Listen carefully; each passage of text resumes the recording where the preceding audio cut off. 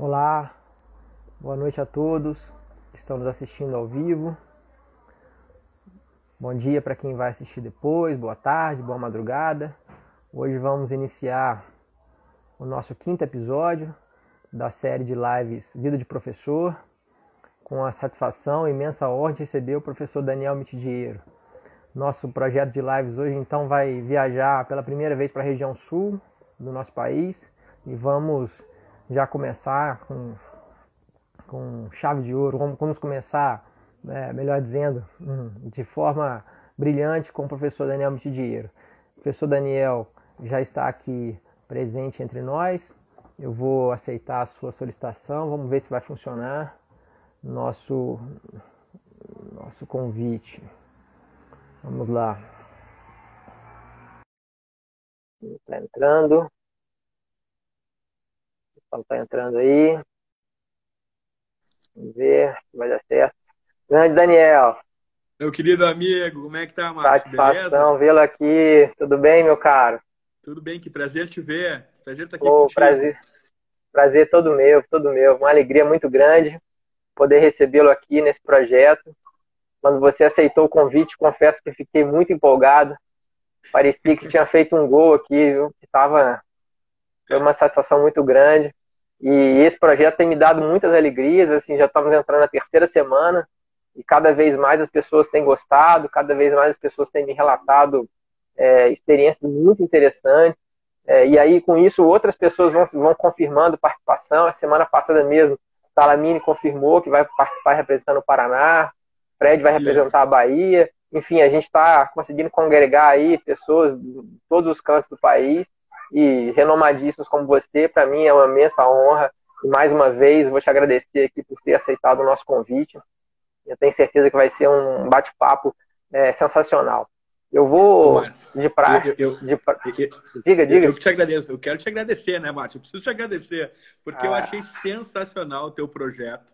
Eu realmente achei muito legal, porque é, essa pandemia está nos aproximando assim, e não só para a gente poder bater papo sobre coisas do direito, que é legal também, mas também falar um pouquinho sobre a vida, sobre as nossas carreiras, as nossas vidas. Eu tenho certeza que muita gente nos ouve também passa por, por, por decis... passou por decisões, vai passar por decisões semelhantes, vai é, ter uma estrada semelhante. Então, eu quero te parabenizar por ter idealizado esse projeto e te dizer que eu fico super lisonjeado, super feliz de estar aqui contigo. Te agradeço muito ah, convite. Não, que isso, a satisfação é toda minha. Eu separei aqui para você ver que eu não tô, eu não tô exagerando. É um pequeno, um pequeno pedaço de como você é importante para minha história. Não sei se consegue ver. Eu é, aqui atrás tem muito mais, mas assim só para o pessoal entender a importância que é estar tá conversando contigo hoje. É, e só para aproveitar contar uma história muito rápida, né? Eu estava resgatando aqui as, as, nossas mensagens e as conversas. Eu tenho tentado te trazer para Juiz de Fora tem quase 10 anos, né? E a gente nunca consegue, sempre alguma coisa. Então, pelo menos virtualmente, nós estamos aqui conversando. É, e aí eu tenho certeza que meus alunos aqui da FJF vão, vão também, de certa, de certa medida, ficar muito felizes, embora você não esteja aqui entre nós. Né? Como você disse, a pandemia acaba nos aproximando nesse sentido. E eu não sei se você se recorda, é, embora nós já conversássemos antes pela internet, assim, a primeira vez que, nós conversamos foi naquele congresso da Federal do Paraná de 100 anos. É, e eu me lembro que eu já cheguei, assim, acho que foi na época do lançamento do Corte, do seu livro de Cortes Superiores, não é? E eu me lembro que já cheguei emendando uma pergunta logo de cara e você ficou assim, peraí, mas quem é esse cara, velho? Logo Aí depois eu me identifiquei, aí você se lembrou e me tratou super bem. E ontem mesmo eu estava vendo seu, relendo seu autógrafo, muito carinhoso. É, e, e, na verdade, assim, como eu já disse anteriormente, né, é, você é, é, uma satisfação imensa tê-lo aqui, não só pelo, pelo professor que é, pelo profissional que é, mas pela pessoa que você é. Né? Você é um agregador. Eu, eu tive a oportunidade naquele congresso de conhecer diversos seus alunos, os quais eu fiz amizade até hoje, e, e todos, né, todos sem exceção, elogiam demais a sua figura, não só como professor, mas como amigo, como colaborador. E, hoje a, a, sua, a sua participação aqui não poderia estar mais que justificada. É... Obrigado, Obrigado não, mesmo. Que isso. É, é, o carinho é recíproco e fica aqui o meu compromisso de ir a Juiz de Fora também pessoalmente, viu? Que vai ser não, um prazer. Tá. Espero que a gente continue se encontrando por aí. Sim, sim, certamente. Bom, eu vou, como de praxe, fazer uma breve, breve apresentação é, e já vou emendar com uma pergunta. E aí eu te dou a palavra, claro, para a gente começar a nossa conversa, nosso bate-papo aí. Bom, o professor Daniel Mitigieiro vem representar aqui o estado do Rio Grande do Sul nesse nosso projeto de lives. Né? Ele é pós-doutor em Direito pela Universidade del Estúdio de Pavia, da Itália, é doutor em Direito pela Federal do Rio Grande do Sul, é professor associado na mesma universidade, advogado, renomadíssimo autor, talvez seja, eu concordo com o Fred, assisti a live de vocês recentemente, talvez seja hoje um dos três, ou talvez até o principal autor do Brasil citado fora, é um gigantesco comparatista. Enfim, não vou ficar aqui é, citando toda a sua carreira, que não vai acabar a nossa live.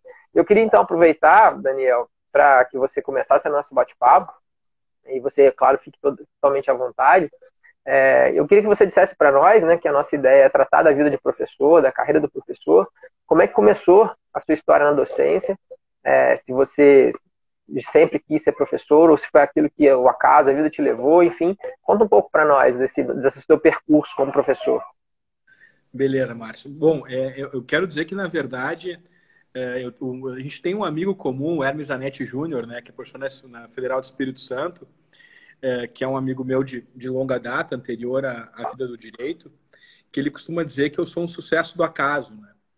É, naturalmente brincando um pouquinho. É, mas tem uma certa é, tem um certo sentido isso que ele diz, porque é, na verdade eu nunca pensei em, em ser professor é, e tampouco me, me imaginei que eu pudesse me tornar é, um doutrinador, ou, enfim, uma pessoa que que com, com algum destaque assim na, na dentro da, da, da, vida acadêmica. Eu, eu, imaginava assim que eu ia sair da faculdade, que o meu pai era juiz, né? Meu pai hoje é juiz aposentado, enfim, já faz muitos anos que não trabalha. É, eu imaginava que eu ia fazer um concurso público e, enfim, né, ia seguir uma carreira mais ou menos assim. Uma ótima carreira, tudo certo, mas essa, essa era a ideia. Mas eu gostava muito de processo. Né? Eu saí da faculdade, gostava muito de processo. O Zanetti é, sempre conversava muito comigo sobre processo, enfim. E aí ele disse, cara, por que tu não vai estudar, uh, por que tu não vai fazer mestrado, né? Eu disse, cara, porque eu preciso dar um jeito de ganhar a vida. E eu não, enfim, eu não tenho como, como ganhar a vida, cara. Eu, eu preciso ganhar a vida.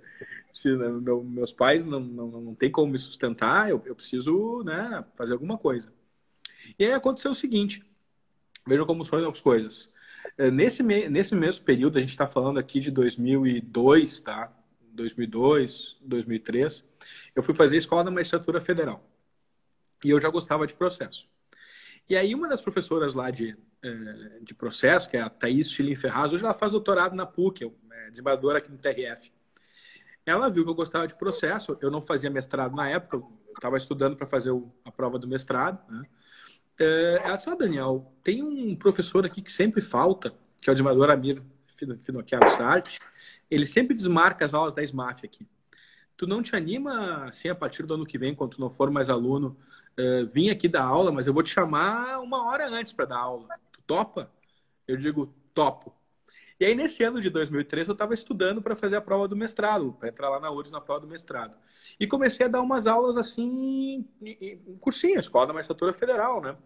É, e aí, o Verbo Jurídico, é um outro cursinho que tinha aqui no Rio Grande do Sul, é, também preparatório, é, viu que eu, enfim, que eu estava dando aula bem, que as aulas eram, enfim, boas, assim, para aquele público, enfim, e também me, começaram a me contratar para dar aulas freelance, assim. Eu achei, pô, tô ganhando um dinheirinho, tá, tá bom, isso aqui tá legal. E comecei a gostar de dar aula, né? E aí entrei no mestrado, entrei no mestrado em 2004, né? Lá, lá na faculdade. É, e aí já comecei a dizer, bom, isso aqui talvez possa ser um, uma carreira, né? Então, é, na verdade, logo em seguida eu percebi que eu, que eu podia dar aula, que era uma coisa que eu, que eu sabia relativamente fazer, que eu gostava de me expressar, enfim. É, e aí acabei acabei vendo, enfim, uma maneira de resolver o problema e, e desenvolvi, enfim, a docência. Quando terminei o doutorado, já fui dar aula na PUC, depois fui dar aula, na, passei o concurso na URGS. Mas, na verdade, quando eu saí da faculdade, eu não queria ser professor, assim. Não é que eu não queria, eu não sabia que isso era uma carreira que estava ao meu alcance, né? E, enfim, foi assim, não foi um negócio não se, não se imaginava como professor, mas enfim, quando se descobriu, né, e que descoberta, né? É, eu fiquei. É, eu te confesso que hoje, cara, uma das coisas que eu mais gosto, assim, é da aula. Eu gosto muito da aula, gosto muito de conviver. As pessoas gostam muito de escrever, gosto de advogar, mas é muito bom da aula, né? Ser professor é uma coisa que nos coloca em, em grande contato, assim, com, com o novo, não nos deixa parar, é, nos viabiliza, assim, um contato, nos torna jovens, né? Jovens de espírito, assim, não se acomodar com o que a gente sabe, sempre procurar alguma coisa diferente. Sim, sim. Bom, é, Daniel, você obviamente teve inúmeros professores, né, desde a graduação, mestrado, doutorado, pós-doutorado, vários deles, né, que também foram meus professores, nos quais eu também estudo, e acho que a maioria de nós aqui também. É, mas eu queria que se você pudesse, né, claro que é difícil às vezes, mas houve algum professor que te influenciou ou que te ainda, que ainda te influencia, aquela pessoa que você assistir as aulas e dizer, olha, essa pessoa me faz brilhar os olhos, é algo que realmente, como eu gostaria de ser como ele, ou pelo menos próximo, né, como aquela pessoa. É, sempre quando eu penso em professor, eu penso no professor, né? Não por acaso eu chamo, chamo ele assim, né? Eu penso no professor Carlos Alberto. O professor Carlos Alberto foi meu professor no mestrado, foi meu professor no doutorado. É, ele, ele me ensinou muitas coisas importantes, né? É, muitas coisas importantes mesmo. Me ensinou é, o valor de pensar, da crítica, me ensinou uh, a respeitar a opinião dos outros, porque às vezes o cara é mais novo, a gente quer, quer falar, quer falar, uh, né, não quer ouvir. Não, a gente precisa falar, mas a gente precisa ouvir, a gente precisa pensar sobre o que os outros dizem. Uh, então, o professor Carlos Alberto sempre foi para mim a ideia de professor, né? É, por mais que agora existem algumas, enfim, a gente vai amadurecendo academicamente, vai desenvolvendo ideias, vai aproximando, se aproximando com outras pessoas. Mas o professor Carlos Alberto sempre vai ser a ideia de professor para mim. Né? Cara, eu, tive uma, uma, uma referência anterior no professor Ovidio, que foi um professor muito importante para mim também, me deu muito apoio, a gente conversava muito. É, o próprio professor Marinoni, que né, hoje é meu sócio, meu amigo, a gente escreve juntos. É, o professor Tarufo, é uma grande referência para mim, também foi meu professor no pós-doutorado e é um grande amigo. O professor Humberto Ávila é uma outra pessoa que eu digo assim, cara, pai da professor. É, mas, assim, a referência de professor e o que eu chamo de professor é o professor Carlos Alberto, né? É um, é um é. grande amigo e foi um grande professor. Sim, pessoal Varo, eu não tive a sorte de, e a fortuna de ter sido professor, ser aluno dele, né? Mas eu tive a possibilidade de assisti-lo numa banca, avaliando um concurso, e foi fenomenal. E a obra dele foi uma das minhas mais citadas minha tese, assim como a sua também de cooperação, né, quando eu falei de boa, de boa fé e lealdade. É, e, e, não tenho, eu não tenho a menor dúvida em dizer que você é o sucessor, sucessor do professor Carlos Alberto Alvaro de Oliveira, e eu falo isso para meus alunos quando vou tratar do assunto, né, eu faço essa menção sempre, e eu brinco com eles de, olha, o professor Alvaro era tão sensacional que ele mesmo fez uma, uma breve síntese do livro dele e publicou em formato de artigo para facilitar o acesso à tese do formalismo, né, que é algo genial, né, em que os meninos falam, professor, mas eu vou ler um livro, uma tese tão grande. Eu falo, não, peraí, então vamos resolver esse problema. Vai ler o, te, o, próprio, o próprio autor resenhando o que ele fez. De fato, era é uma ideia sensacional. Bom, Daniel, é, você nos falou sobre um pouco da sua carreira é, e eu queria aproveitar e emendar duas perguntas em uma só, é, para que você pudesse também falar bastante. A ideia, na verdade, é mais ouvi-lo.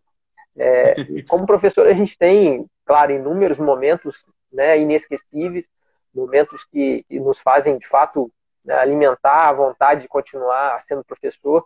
Mas será que você poderia declinar para nós? Porque a nossa ideia aqui, para as pessoas que estão nos assistindo pela primeira vez, nossa ideia é incentivar novos profissionais, ou pelo menos uma das ideias, incentivar novos profissionais a seguir a carreira de professor. Então, você como brilhante professor que é, poderia declinar alguns momentos, ou um momento marcante da sua carreira que te fez dizer, olha, realmente isso foi sensacional, foi algo maravilhoso. E eu queria aproveitar também para dizer, se você pudesse declinar, algum momento que não foi assim tão bom, pelo contrário, algo que foi negativo, né? Porque a gente sabe que vida de professor também não é só coisa boa, né? Embora a gente aqui esteja para incentivar, mas é importante dizer o real, né? O mundo verdadeiro para todo mundo que está nos assistindo. É, e se você pudesse então dizer algo que, que, te marcou negativamente, mas que em certa medida serviu também como aprendizado, é, eu também gostaria bastante de ouvir. Tá. Não, eu acho que sim, tem, tem muitas coisas me dão um enorme prazer, né, sendo professor, um enorme prazer. É, mas eu, eu acho que existem coisas assim, desde os micro prazeres, né? Que é perceber o interesse é, dos alunos e das alunas na matéria, é perceber as pessoas que vêm conversar contigo no final da aula, é, querendo saber mais coisas, é aquele e-mail que chega, que alguém leu o teu ensaio, o teu livro e quer discutir uma ideia, é, independentemente de concordar ou não, mas quer discutir os temas.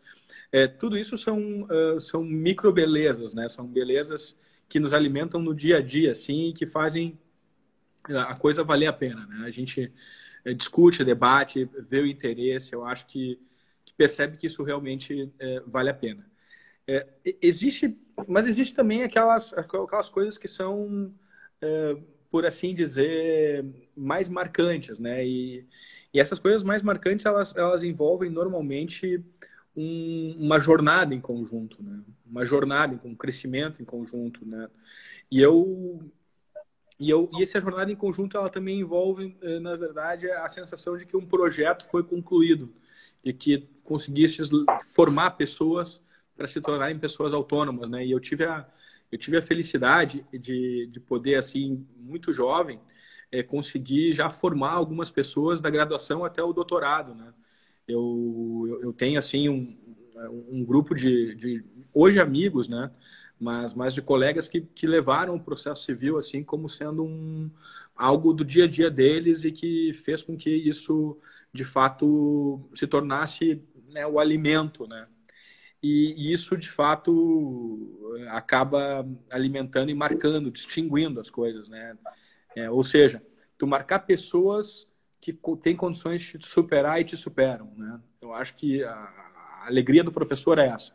É conseguir alimentar nos seus alunos e alunas uma perspectiva tão significativa de que elas eh, conseguem ir além, né? conseguem fazer a mesma formação que tu, conseguem eh, ir, eh, ir além. Então, como isso aconteceu com alguns alunos meus, é, eu, eu acabo assim destacando isso como uma grande alegria e uma e um motivo de, de enorme, sim, de enorme satisfação. Eu, sim, desde o início, para citar, é, sim, pessoas que começaram na graduação comigo foram até o doutorado. É, eu tive o Vitor de Paula Ramos, né, tive o Rafael Abreu, né, tive o Otávio Domit. Eles começaram lá na graduação comigo, lá em 2006, né, e foram terminar há pouco tempo atrás toda a carreira acadêmica deles é, São sob, os famosos, minha como, orientação. Como, dizem, né? como diz Cabral, os Meat Boys, né? É, os Beat Boys. Claro, teve o Otávio Mota, teve o Paulo Mendes, né? Tem o Arthur, que foi meu, não, não foi meu não, aluno, mas meu colega, mas tem muita gente no entorno, mas assim, pegar as pessoas do início e levar até o fim é, e ver que, que isso fez diferença na vida delas, é algo realmente importante, algo realmente muito, muito gratificante. Eu fiquei muito feliz com isso e eu, e eu continuo fazendo isso. Eu tenho, tenho é essa legal, experiência né? e, é. essa experiência realmente está tá fazendo a diferença. Agora, é, também coisas ruins acontecem, né? Eu vou contar duas experiências que eu tive, uma na PUC e outra na URGS. Eu comecei dando aula na PUC em 2009, segundo semestre de 2009. É, fiquei um ano e meio na PUC e, e depois fui para a URGS, assumi em 2011, no início de 2011. Aí né? tô, tô, tô desde lá na URGS. É, lá na PUC aconteceu uma, uma coisa curiosa quando eu assumi em 2009. Eu assumi duas turmas é, da mesma matéria, é, e eu dava aula para uma turma na, no, primeiro período e outra turma no segundo período, né, em dias alternados. Então era basicamente a mesma aula, só que em dias alternados. Em uma das turmas, eu fui o professor paraninfo. O pessoal realmente, eu não sei, eu gostei deles, eles gostaram de mim, e a gente tinha uma sincronia super bacana. E exatamente a outra turma fez um abaixo assinado para me tirar. no mesmo semestre. Cara, e foi assim, a primeira turma de graduação que eu tinha, sabe? As duas primeiras turmas de graduação que eu tive lá na PUC. Uma delas achou. alguma coisa tá estranha aí. Pois é, eu, eu, eu, não sei. Até hoje eu fico pensando o que, que será que eu fiz de errado para uma dessas turmas. Certamente são muitos fatores que influenciam a sala de aula, o professor tem que saber disso, né? E, mas foi um fato curioso e, e claro que, enfim, me chateou, né? Porque, é, mas também, enfim, me mostrou que a gente tem que pensar constantemente, nos avaliar constantemente sobre o que a gente anda fazendo. E lá na URGS é, aconteceu também um fato é, que me marcou bastante, que foi logo no início quando eu assumi, e diz respeito ao meu estágio probatório. Né? É, naquele período de 2011 a 2013, a gente teve a gestação do Código de Processo Civil, do projeto Código de Processo Civil na Câmara. Tu vai lembrar uh, desse período. Claro. E, e, o que aconteceu nesse período foi que eu fui, eu, eu fui designado na Câmara dos Deputados, né, formalmente, como um dos membros uh, da comissão uh, para, enfim, colaborar na redação do código, fazer a revisão e etc. Eu fui, naturalmente, com, conversei com a faculdade, eh, a faculdade me liberou para, na medida do possível e quando fosse possível, eu comparecer à Câmara dos Deputados, né, demonstrando sempre. É, e foi assim que eu fiz, e eu devo ter faltado metade das aulas do semestre né, para uma turma. É, nesse, mesmo, nesse mesmo período, então, isso aconteceu nesse período de 2011, período de estágio probatório. E no primeiro semestre de 2013, quando fecharia o meu estágio probatório, eu fui é, fazer meu pós-doutorado em Pavia. Né. É, explico que eu, na, eu, eu, fui fazer o pós-doutorado em Pavia porque era a última oportunidade que eu tinha para estudar com o Tarufo, porque ele ia se aposentar naquele ano. De fato, ele se aposentou, ele fez 70 anos naquele ano. Então, ele só poderia me receber em Pavia naquele período. Né? Aí havia autorização uh, no âmbito da faculdade da universidade para que eu saísse para o pós-doutorado. Eu consegui essa autorização por todos os, uh, os canais, uh, por assim dizer, é, legais e da faculdade, enfim. Mas, mas ainda assim eu fui para fui Pavia em fevereiro, voltei em, em maio, né, maio, junho. Praticamente perdi o semestre né, do, de 2013/1 com os alunos.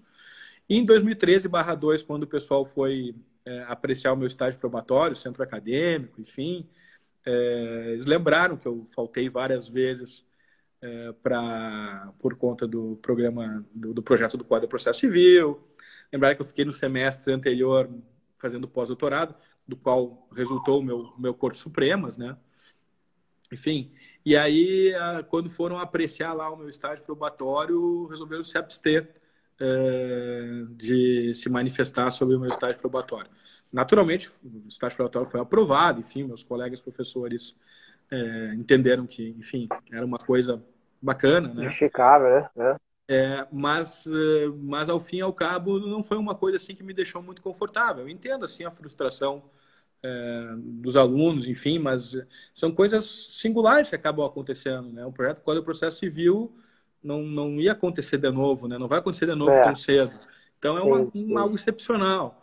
É, claro que tem o sacrifício deles, eu entendo, mas é, mesma coisa o pós-doutorado acabou acabou, claro que é um benefício para mim, né? Mas acabou redundando na redação de um livro que, sim, tem um impacto muito grande é, dentro do sistema de justiça, enfim, né? O Supremo cita bastante, o STJ, enfim, é. o sistema de justiça acabou se beneficiando também.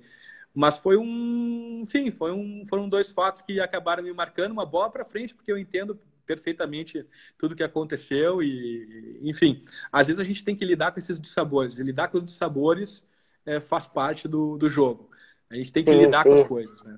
É, não, não há dúvida disso. Eu acho que talvez até tentando se colocar na posição do aluno, né, ele deve ter ficado frustrado quando entrou na faculdade, pensou, bom, daqui, lá daqui a tal período eu vou ter aula com muito dinheiro. E aí quando realmente essa oportunidade chegou, ele não pôde, né? Então acho que foi mais um misto de frustração do que qualquer coisa. Mas é o que você falou, né? É, tá mais que justificado, não há dúvida disso. Eu mesmo nesse semestre, eu estava de licença para concluir o meu pós-doc junto ao Fred, com o Fred, né? Mas acabou que com a pandemia eu acabei ficando 14 dias de licença só. E, e hoje, inclusive, eu sou chefe do departamento aqui, né, na, de processo aqui na UFJF. E aí estou reassumindo minhas turmas. E aí, nesse período nós encontramos com alguns alunos, né? Olha, professor, eu estou nos oitavos períodos agora. E aí vários disseram, olha, professor, estou esperando desde o primeiro período para ter aula contigo. E aí na hora que eu vou ter, você sai de licença.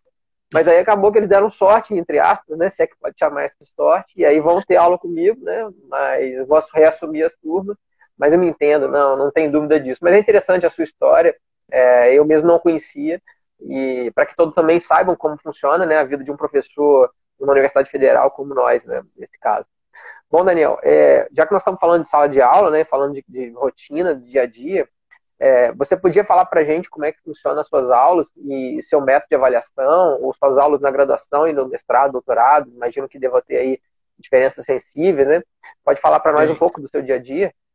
Posso sim. Eu vou começar com, com o que o Felipe, que é meu aluno lá na graduação, salve Felipe, é, tá, tá colocando aqui na, na, nossa tela. Que, é, que é basicamente pergunta. o seguinte, olha, é, eu a princípio não fazia, não fazia chamadas, tá?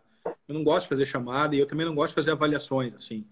É, mas acabei, no, acabei sendo vencido. Primeiro eu falo da graduação, depois eu falo do, do mestrado e do doutorado. É. Mas eu acabei meio que convencido de que era necessário fazer chamada e era necessário fazer avaliações, tá?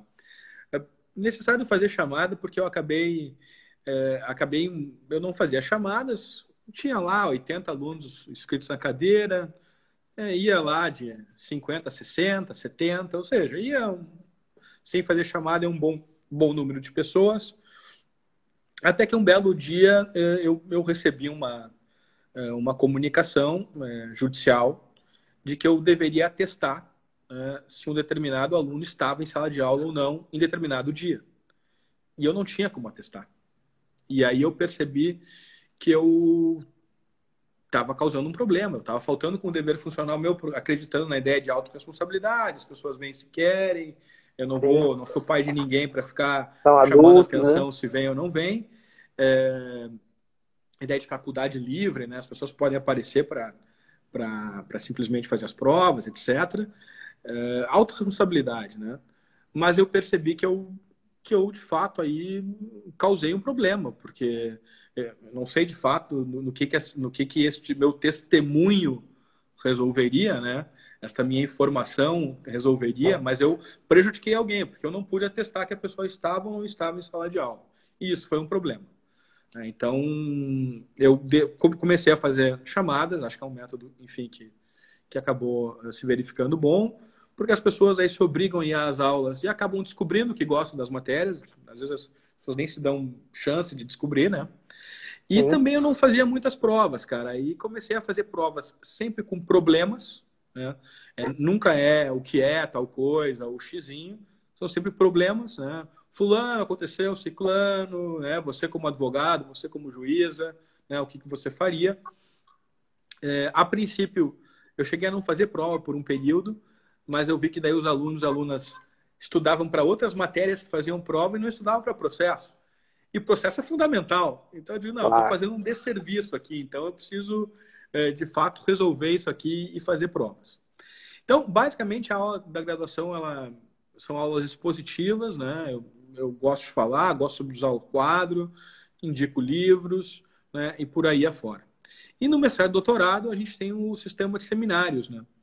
É, a gente faz um programa, primeiro dia de aula a gente distribui é, os seminários, Uh, e o mestrando e doutorando tem que apresentar um seminário por, por, por semana, né? É, um, um, cada um por semana, né? um por semestre, né? naturalmente, é, de uma hora. E depois a gente faz um, eu faço uma crítica do seminário, crítica formal, crítica material. Depois a gente faz um debate sobre o seminário e assim fica uma ideia rica assim de debate. Eu acho que é uma coisa que anda bem. É, basicamente é assim, são aulas bem tradicionais, bem é, bem expositivas, assim.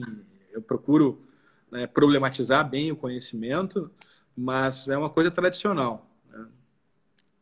O bom e velho tradicional que funciona, né? Eu também é, eu sou adepto como você aqui.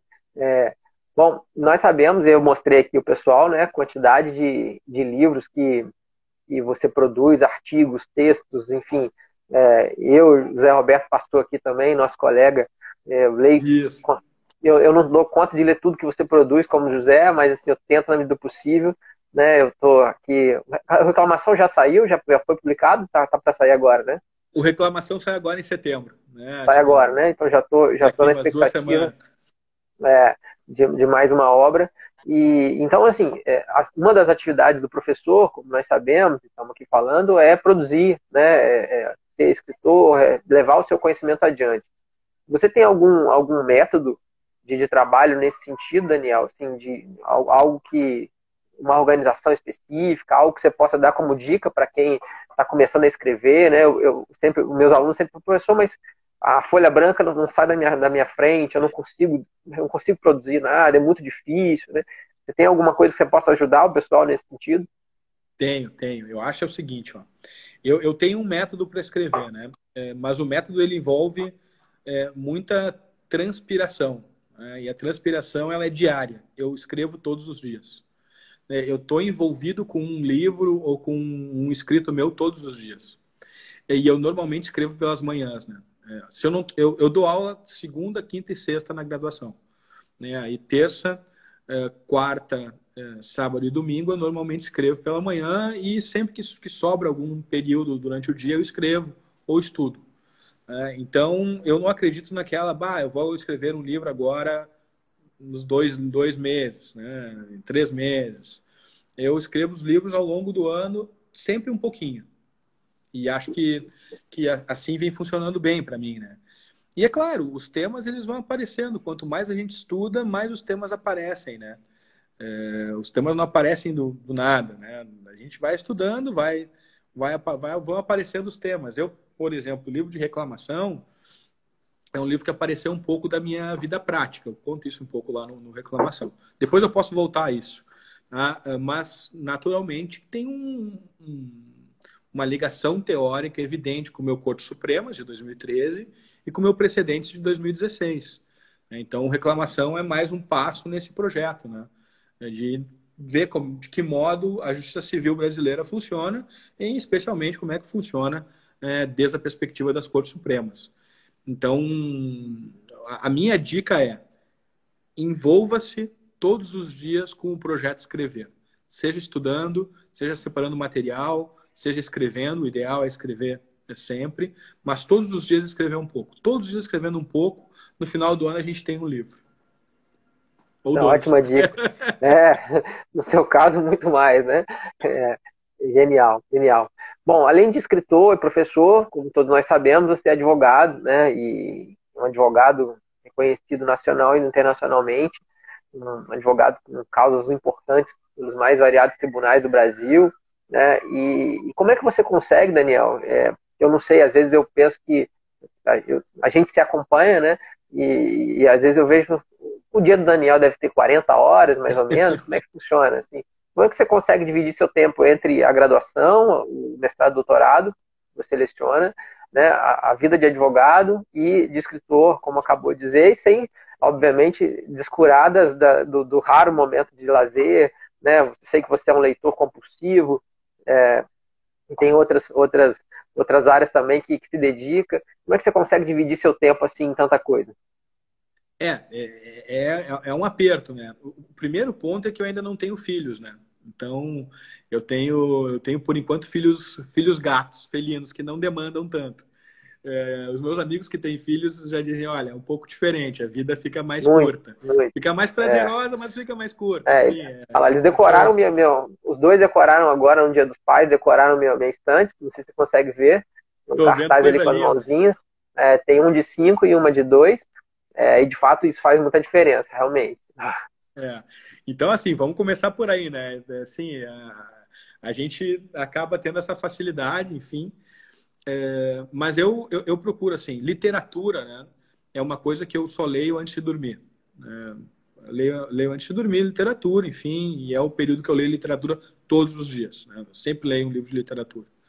É, eu tento reservar as manhãs para escrever, estudar e dar aula. Às tardes eu trabalho no escritório. Trabalho coisas do escritório, coisas da advocacia, né? E no início da noite eu, eu volto a escrever um pouquinho sobre as coisas do direito, é, mas não até muito tarde, até umas sete e meia, oito horas, não mais do que isso. E lá pelas oito, assim, eu, eu janto com uma coisinha e vejo um filme, vejo uma série, eu começo a ler um livro. Então, a, a rotina é basicamente essa. Mas sábado e domingo eu também faço isso. Né? Então, sábado e domingo eu, eu também procuro... Aí, tento não trabalhar na advocacia sábado e domingo como regra, né? É, sábado e domingo fica para escrever mesmo, enfim, estudar as coisas que, enfim, que eu acabo. É, é, um hobby no fim, né? Eu, eu gosto claro, muito de fazer. Claro. Coisa é. Que, é, que, que, é bem da minha vida, né? Ah, antes eu, eu viajava muito, pro, eu, eu, advogo muito no Supremo no STJ, né? Então eu ia muito a Brasília, né? no julgamento terça, quarta e quinta, né? Uh, agora, nessa pandemia, eu estou desacostumado, porque eu não vou mais a Brasília. Tenho conversado com o pessoal assim online, tá, tá ótimo também mas é, confesso que tá, tá bem mais fácil a minha vida sem o avião, né? Sem o avião, assim, como presença semanal na minha vida. É, Mas é isso, acabou é... ganhando tempo, né? É muito. Mas é a organização, sabe? Mas, por exemplo, tem, tem coisas que eu estou me devendo, né, Márcio? Tu é um cara esbelto, né? Um cara é. magro. Tu deve fazer exercício, tal, que eu sei. Pô, eu sou um gordinho, né, cara? E eu, eu tô me devendo fechar a boca e ou fazer exercícios físicos, né? Então, é, eu tô, tô me devendo algumas coisas. Então, eu, eu preciso ainda achar um equilíbrio. Digamos que eu estou muito ainda no trabalho. Eu preciso dar uma, Sim. É, tem que um se cuidar de fato. Pra... É, até para conseguir manter essa, essa rotina muito tempo, né? É, daqui a pouco o corpo começa. É, eu, eu, pelo menos, eu já era, eu sou o contrário. Eu, eu costumo trabalhar de madrugada. Assim, eu gosto de trabalhar nas madrugadas, eu rendo bem nas madrugadas. É, e agora não, com filhos pequenos não, mas assim, eu gostava de dormir um pouco mais tarde, até mais tarde. É, e costumo ir, na época da tese, por exemplo, eu ia até 5, 6 horas da manhã e rendia bem, assim, era um momento do dia que até pela, pelo silêncio. É, mas hoje, agora, para fazer o, o relatório final do pós-doutorado, foi bem difícil. Levar essa rotina de madrugada foi algo, principalmente com a pandemia, né, porque com crianças em casa, isso foi muito difícil, é, mas porque são 10 anos praticamente, diferença de um para outro, né, pelo menos se não 10, pelo menos uns 6, 7 anos então isso vai, vai fazendo uma diferença, não há dúvida, né? É, isso é importante realmente. Bom, é, uma outra coisa que eu queria saber, Daniel, é, isso é uma pergunta que muita gente tem gostado. É, se você tivesse um poder mágico, é, algo assim que te desse esse, esse, essa, essa graça, eu falei, eu quero excluir alguma coisa da minha rotina de professor, algo que, que, me perturba, algo que me, que me desanima, então, faz assim e apresenta uma mágica e isso some. Existe isso? Algo que você gostaria de dizer, olha, isso aqui não me apetece, não, não vale a pena sair? Ah, olha, é uma pergunta difícil, tia, porque assim, é, a gente, qualquer, qualquer elemento que tu tira da equação, tu não sabe o que pode dar de resultado, né? Então é, é, é efeito borboleta, né? difícil, né? É realmente difícil a gente pensar nisso, assim. Eu acho que tem alguns entraves burocráticos da universidade, a gente ficar, né, é, é, lançando nota, é, preenchendo projetos de pesquisa. essas coisas, assim, eu acho que são coisas mais chatinhas, né? Mas, cara, a gente tem que fazer, né? Pô, tem que preencher o Lattes, tem que tem que estar tá com o projeto de pesquisa em dia, aí tem que ficar dando conta, sim, de todas as rotinas que a gente faz. Mas a gente é servidor público, no nosso caso, né? A gente é servidor público, Sim. a gente também tem que prestar contas do que a gente faz. Mas é um troço meio chato, assim, na real. Mas paciência, né? Alguma coisa tem que ser. Mas Fazer o quê, né? tirar isso seria uma boa. Eu não sei o é. que tu tiraria, mas eu, eu tiraria é, isso. É, eu, eu, eu, concordo contigo. O Vinícius Lemos, um professor de Rondônia, ele até disse, olha, é, eu tiraria também lançamento de notas, porque é engraçado que quando eu, tô, quando eu lanço notas, eu às vezes estou me sentindo meio sozinho, é lançar as notas, os alunos aparecem, é um monte de mensagem que eu recebo. Então, se eu estiver chateado, não tem problema, que eu vou receber ali um monte de mensagens ao mesmo tempo. É impressionante, eu posso lançar de madrugada, como eles sabem que eu lanço, e ainda com um grupo de WhatsApp, né? E eles, em dois, em dois, cinco minutos que eu lanço as notas, eles já, professor, espera aí, o que é isso, aquilo? Nem viram a prova, né? E vão entregar a prova no outro dia, já lancei as notas, e aí já estão, peraí, mas já tem meio ponto aqui, meio ponto a colar, é, é, de fato é algo, se pudesse ser excluído, né, seria interessante. E a outra coisa que eu também não. E olha que eu sou chefe de departamento, né? São reuniões. Eu acho que as pessoas. Já o terceiro mandato que eu vou, eu sou chefe de departamento, eu acho que por isso, ninguém, ninguém gosta de reunião de departamento. Né? E aí, como eu tento fazer com que elas sejam cada vez menores, acho que os meus colegas falam: olha, vamos continuar elegendo esse cara, porque né, tá, tá, indo bem, né? Tá indo bem. Hoje, nós, hoje mesmo nós tivemos uma reunião que começou às nove e acabou às onze e meia a primeira reunião à distância, remota, né? Mas com uma pauta gigantesca que acabou super rápido, perto das outras, né? E aí o pessoal já recebi três mensagens dos colegas, olha, foi ótima a reunião, continue assim, né? pelo visto não vão conseguir sair, né? Porque vão ficar assim. É... Mas enfim, é o que você falou, faz parte, né? A gente tem que, tem que lidar com isso tudo, não tem outro jeito, né? É, é, do, é do dia a dia mesmo, né? Bom, é, você, Daniel, é, exato, exato. Você se eu não estou errando as contas, você disse que começou então em 2003, não é isso? Então são. Isso, 2000, é, 2004 eu, eu entrei no mestrado, é, 2003, é, é lecionar 2003 em cursinho. Sim, é, assim. então são 17 anos aí, né? Vamos colocar 17 anos de, de docência, né? É, mais que a idade de muitos dos nossos alunos, né? Que estão aí nos assistindo, né? É, eu já vi aqui alguns passando, enfim. É, o que, que te faz ainda hoje, né? Como professor renomado que é, como advogado renomado e como é, escritor reconhecido internacionalmente, o que que te faz a dizer, olha, eu quero mais uma vez esse semestre, quero continuar dando aula, eu quero seguir, porque, claro, não deixa de ser cansativo, eventualmente repetitivo em alguns momentos, né? Tem tantas outras coisas mais interessantes para fazer, ou mais rentáveis também, enfim. É, mas o que que te faz, assim, brilhar os olhos? O que que te move sendo professor e, seguindo essa carreira? É, isso, isso é, essa é uma questão fácil de responder. É, são os alunos, cara, e as alunas. É, é, o pessoal, é, tu chega em sala de aula, tu, tu, tu, vê, tu, vê, tu, vê, tu olha para as pessoas e vê que as pessoas estão prestando atenção no que tu está dizendo.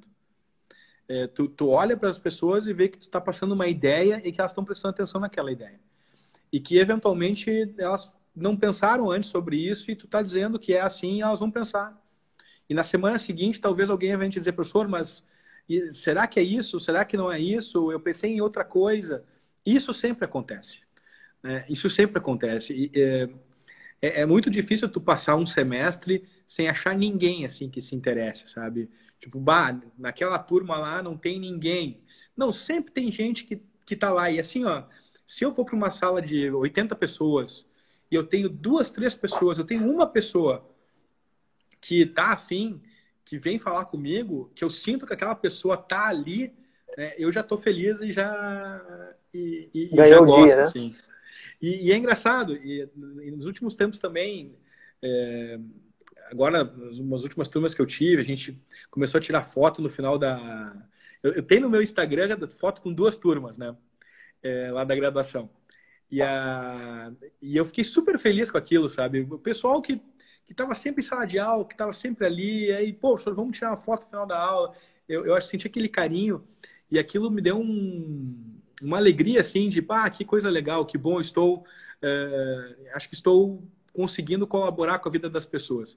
Então, é, debater, ouvir as críticas, empolgar as pessoas com ideias, é, isso faz com que eu levante e diga, pá, isso aqui é, é, é o caso. Eu podia estar fazendo outras coisas, podia estar me dedicando só à advocacia, podia, enfim. É, né? Mas não, eu acho que isso é muito importante e eu acho que a gente tem um dever importante, Márcio. A gente precisa é, mostrar, e tu está mostrando isso aqui, por isso que eu fiz questão de te agradecer, que ser professor é uma coisa muito importante. Né? É, dá, a gente precisa de pessoas engajadas, pessoas que gostem do que fazer, gostem do, do que fazem, é, que estão ali à disposição para o outro, né? Para que as pessoas é, despertem isso. E, e quando eu consigo fazer isso, não é sempre que eu consigo, mas eu sempre tento, isso justifica que eu continue e, e queira ir adiante. É, isso é, isso é sensacional, né? Você vê esse reconhecimento e eu acredito que você já deve ter visto isso também, principalmente de alunos, às vezes, que você, muitos anos depois, né, você deu aula para eles, eles aparecem por alguma questão da advocacia, ou então porque assistiram alguma palestra, ou enfim, voltaram de alguma maneira, né? E aí você percebe que conseguiu modificar a vida daquela pessoa, de algum, ainda que seja algo mínimo, né? Ou às vezes tão grande, como os teus é, casos de exemplos que você citou, né? Do Vitor e do, do Otávio, por exemplo, que você mudou de fato a vida da pessoa, você formou um professor, formou um novo profissional. Isso é sensacional, né? Isso é algo que, que faz com que a gente fique maravilhado. Eu, particularmente, assim, eu brinco com meus alunos, e não é por isso que eu dou aulas, claro, né? Mas quando eles me, me, me, escolhem como algum homenageado, aqui não sei como é que é aí na UF, mas aqui a gente tem uma tradição de, de, de mais ou menos cinco, seis professores serem escolhidos pelas turmas que estão se formando, né? E, e eu tive a satisfação, talvez de 90% das turmas que eu, que eu lecionei, em alguma medida eles me escolheram, né? E aquilo para mim é uma satisfação. Aqui eles têm uma tradição de invadir a aula dos professores que são escolhidos. Então você está lá dando aulas, eu me lembro, no último semestre que eu estava dando prova, era uma prova final, eles entraram, e aí eles começam é, a ficar mais alegres, né? Porque já começam a fazer aquelas festas. E aí isso era mais ou menos 7, 8 horas da noite. Aí eles entravam, me abraçavam, me sujaram todo, e aquela alegria. E os alunos que estão lá querendo fazer prova, pau da vida, né? Porque, pelo amor de Deus, a gente quer resolver isso. Eu falei, olha, gente, vocês vão me desculpar, mas aqui é um momento sagrado. Porque isso é reconhecimento, embora não seja esse o objetivo, mas é um reconhecimento né? Porque você mudou de fato a vida daquelas pessoas, né? E, minha esposa, ela fica brava, fala assim, nossa, outro baile pra gente ir, a gente, criança pequena, falando, eu faço questão de ir, porque é uma alegria tão grande, às vezes vem uma senhorinha, fala, avó que mora com o menino, olha, eu sou avó do fulano de tal, e ele fala tanto de você, e quando eu te conheço, e, aí pede para tirar uma foto, você, você, se sente tão, tão legal ali, né, de falar, pô, realmente aquilo compensou. Aquelas madrugadas em claro compensaram, né, aqueles estudos compensaram, as leituras que eu fiz do Vitidieiro deram certo, enfim, e, e isso, isso é muito legal, né, isso é muito legal. E quando não vem também, a gente está acostumado, né, do jogo, assim, né, a gente sabe que, bom, não dá para agradar todo mundo, né, eu brinco com os meus alunos, nem JC agradou todo mundo, né, Colocaram um homem na cruz há dois mil anos atrás, não vou ser eu que vou agradar. Mas é isso, a gente tem que tentar, a gente tem que tentar para fazer com que as pessoas possam se, modificar de certa maneira. De certa maneira. Cristiano está falando das festas, né? É, o marido da Cristiano, inclusive, Cristiano Ivacura, nossa colega da UERJ, foi meu aluno, foi um dos meus primeiros alunos. Né? E é muito, hoje é um profissional formado, né? trabalha no Tribunal do Rio. É, é muito, é muito legal isso, você poder ver né, as pessoas assim nos mais variados lugares, bem, alguns em outras profissões, né? Hoje mesmo recebi um convite de uma ex-aluna que foi minha monitora, que é professora de yoga. Olha que legal. Assim. Olha a pessoa, em certa medida ali também, aquela tranquilidade, aquele momento também ajudou. Então é, é, muito, é muito divertido isso. Assim. De fato é algo, algo recompensador. Bom, a gente está é encaminhando para o final, infelizmente nosso tempo está acabando, mas eu queria, se possível, fazer mais uma, mais uma pergunta dupla né, na medida é, do possível. É, bom, eu queria que você deixasse nessa, nessa pergunta dupla uma mensagem é, para dois grupos específicos de pessoas. Primeiro, que é, são aquelas pessoas que estão nos assistindo ou que vão nos assistir, né? Essa live vai ficar lá no IGTV e vai para o meu canal do YouTube também, é, que vão nos assistir, que pensam em ser professores pessoas que estão na graduação, ou ainda nem ainda estão na graduação, mas enfim, que, que imaginam ser professor, já tem essa ideia. E outras pessoas que não, que, que já são professores, mas que estão, de certa forma, desanimados com a dificuldade da, da carreira. A gente precisa dizer, né, o momento não está nem um pouco bom, principalmente professores das faculdades particulares, nós sabemos disso. Né, aqueles professores que já exercem a função, mas que estão desanimados, desmotivados. Você podia deixar alguma mensagem para esses dois grupos de pessoas? Pô, claro, claro, mas, pô, assim, vamos lá, né? É, eu, eu, eu, vou, eu, eu, vou lembrar aqui de uma, de uma doutoranda minha, que é a Luciana. É, ela vai acabar assistindo essa nossa live aqui, porque ela também cuida do meu canal no YouTube, eu vou também colocar nossa é, live lá. Que legal. E, é. e, e, a Luciana também foi minha aluna na graduação, é, foi minha aluna no mestrado e agora é minha aluna no doutorado. Ela está comigo também já há bastante tempo. É uma pessoa que eu, que eu gosto muito, que eu admiro muito. E, e quando eu fui admiti-la no mestrado, eu, eu perguntei para ela, mas Lu, uh, Luciana, por que, que tu, tu, tu quer desfazer mestrado, né? Não, porque eu quero ser professora. E eu, e eu disse, sim, mas uh, tu quer ser professora e o que mais? Eu queria dar uma, né, aquela, é. aquela, aquela pegadinha, né? Ela disse, não, eu quero ser professora. Eu quero ser professora. Não sei se eu quero fazer mais alguma outra coisa, mas eu quero ser professora.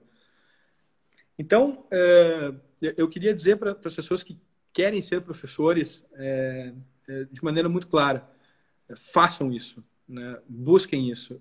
É, é, muito importante que as pessoas que querem ser professores busquem os caminhos para sê-lo. Né? A gente tem, às vezes a gente, a gente não é tão bem remunerado como a gente poderia ser, nem nas federais, nem nas particulares mas é, é, é, muito importante que a gente consiga dizer que é uma delícia ser professor. Né? É, porque impacta positivamente a vida das pessoas, porque impacta a nossa vida positivamente e porque o retorno em termos de felicidade é enorme. Então, busquem isso, isso é algo muito importante.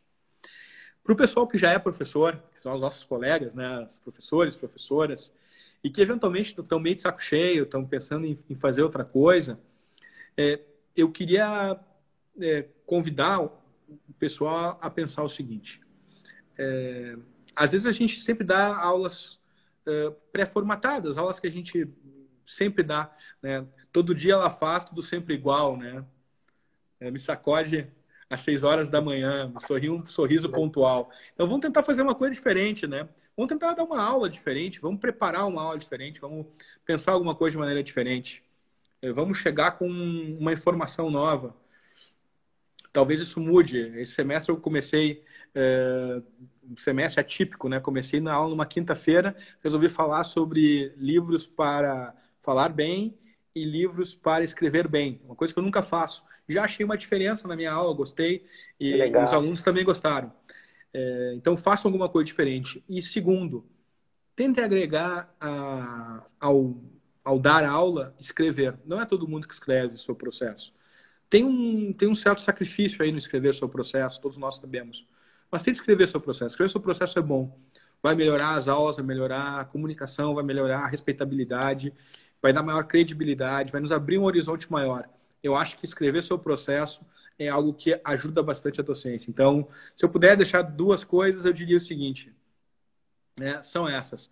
É, insistam, sejam professores, procurem ser professores e procurem reinventar a docência. Eu acho que isso faz diferença. Não, sensacional, sensacional. Não tenho, não tenho outras palavras para definir. Foi, é, é, de fato concordo. Se eu pudesse concordar mil vezes, eu concordaria mil vezes, duas mil, três mil, quantas forem necessárias. Bom, Daniel, a gente está encaminhando para o final. Eu queria, nesse finalzinho, mais uma vez te agradecer pelo seu tempo, que é preciosíssimo, né? Você ter disponibilizado aí uma hora do seu dia, já no final do dia, é, para falar conosco.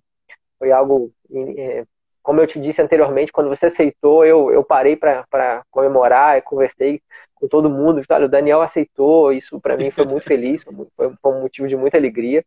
É, eu queria também dizer ao pessoal que está nos acompanhando né, que, os nossos, que o nosso projeto vai seguir, a ideia é que a gente siga é, no mínimo até a semana do Dia do Professor, lá no dia 15 de outubro. É, então nós vamos ter lives aí pelo menos duas por semana. Na quinta-feira agora vamos conversar com o professor Vitor Fonseca do Amazonas. E na semana que vem nós vamos estrear uma parceria com o pessoal do process... com as processualistas. Então, que também encamparam com a minha ideia, com o nosso projeto. E aí nós vamos conversar com a Janaína Noleto, do Ceará, e já tem outras professoras também é, conosco aí que vão agregar a ideia que tem pelo menos uma ou um professor é, de cada estado do país. É, essas lives, como eu falei anteriormente, elas vão ficar salvas no GTV, elas também vão ficar no, nos canais do YouTube. Eu peço ao pessoal que está gostando aí que mandem ideias, mandem sugestões, né, que a gente continue fazendo esse projeto crescer ainda mais. E por fim, Daniel, para deixar a palavra para você, a gente tem aqui, salvo engano, mais dois, três minutos. Eu queria, é, na medida do possível, claro, te deixar à vontade para usar esse tempo, mas antes disso, eu queria dizer que a, minha satisfação é tamanha que o que você precisar, o que puder contar comigo, eu estou à disposição, você sabe disso, é, para qualquer coisa que, que tiver ao meu alcance, pode ter certeza que você aqui tem não só mais aqui um leitor, não só um aluno, mas também um fã, um grande, um grande amigo seu e eu fico, como disse, eu estou emocionado de poder contar contigo aqui. Obrigado mesmo. Bom, Márcio, eu fico super feliz. Eu quero te dizer que é recíproco. Né? Pode ter certeza que tem um amigo aqui no Rio Grande do Sul, um admirador, um colega. É... E eu quero te dizer, conta comigo porque tu precisares também. É, eu quero te parabenizar mais uma vez por esse projeto. É um projeto maravilhoso. É um projeto idealizado com o coração. A gente percebe isso. É... Eu só tenho a agradecer. Eu acho que nós somos uma comunidade é, grande, nós somos uma comunidade de docentes, nós temos que apoiar a ideia de que é, ser professor é uma coisa boa, né? ser professora é uma coisa boa. É, nada obstante, a gente não tem essa cultura no Brasil de valorização do professor. É, eu acho que ele é fundamental e a gente precisa é, levar a sério para crescer como país. Né? Um país que preocupado com a educação é um país que vai para frente. E iniciativas como a tua são iniciativas que promovem o fim ir para frente a partir da ciência, a partir do estudo, a partir da docência, a partir do conhecimento. Né? Só o conhecimento é que vai nos livrar é, das trevas. Né? Só o conhecimento vai fazer com que a gente consiga, de fato, pensar criticamente sobre o mundo. Então, te parabenizo. Eu que te agradeço por estar aqui e poder é, comunicar isso para todo mundo. Muito obrigado por tudo. Obrigado mesmo, muito mesmo, muito obrigado.